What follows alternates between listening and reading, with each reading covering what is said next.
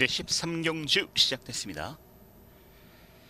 1코스의 김지현, 2코스의 강지환, 3코스의 이동준, 4코스의 서종원, 5코스의 박준호 선수 그리고 6코스의 문주엽 선수가 출전했습니다.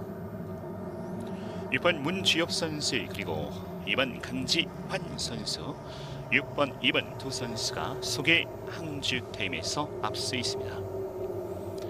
1번 김지현 선수, 1번 김지현 선수가 어제 경주에서 2착했었고요. 오늘 앞선 경주에서 4착. 이곳의 강지환 선수가 어제 경주 3착.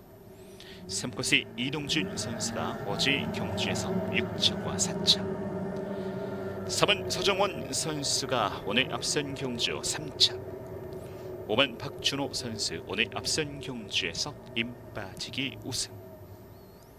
6번 문지엽 선수가 어제 경주에서 임빠지기 우승, 오늘 앞선 경주에서 2착했습니다. 자, 13경주. 13경주의 우승 선수는 누가 될 것인가? 3초 전, 2초 전 13경주 스타트했습니다. 3번 소정원 선수가 스타트를 빨리 끊었고요. 13경주 스타트는 정상입니다.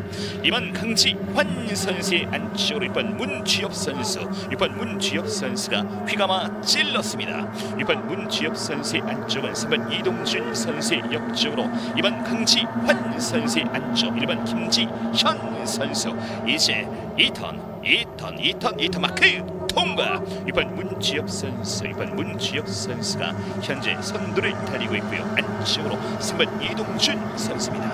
6번 문지엽 선수 6번 문지엽 선수에 이어서 3번 이동준 3번 이동준 3번 이동준에 이어서 2번 강지환 선수 이제 1턴 마크 지나고 있습니다 6번 문지엽 선수가 계속해서 선두 자리 유지하고 있습니다. 6번 문지엽 선수, 6번 문지엽 선수가 이번 주 세 경주 연속 입상에 도전하고 있는데요.